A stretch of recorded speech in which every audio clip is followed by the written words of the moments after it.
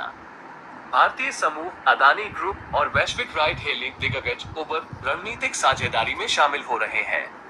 इस सहयोग का लक्ष्य है, उबर के प्लेटफॉर्म पर इलेक्ट्रिक वाहन ईवी पेश करना। अदानी इलेक्ट्रिक कारों को खरीदने और ब्रांड बनाने की योजना बना रहा है, जिन्हें उबर के बेड़े में शामिल किया जाएगा।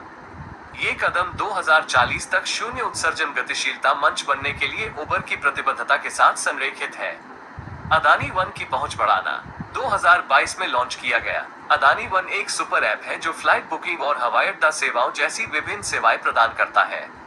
उबर की राइड हेलिंग सेवाओं को अदानी वन में एकीकृत करने का लक्ष्य उपयोगकर्ता जुड़ाव बढ़ाना और सुपर ऐप की पहुँच का विस्तार करना है। लाभ, भारत में ईवी अपनाने में तेज़ी लाना।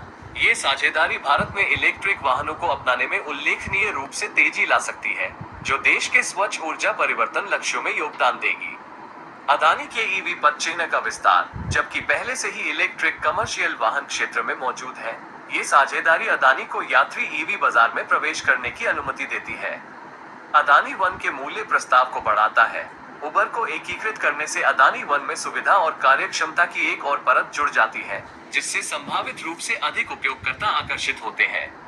आगे चर्चा के बिंदु। साझेदारी का विवरण, जैसे कि शुरू किए जाने वाले ईवी की संख्या और शामिल निवेश, अभी भी चर्चा में है। भारतीय परिवहन क्षेत्र और प्रतिस्पर्धा परिदृश्य पर इस सहयोग के दीर्घकालिक प्रभाव को अभी देखा जाना बाकी है। ध्यान दें, यह आपके ब्लॉग पोस्ट के लिए केवल एक सुझाया गया ढांचा है।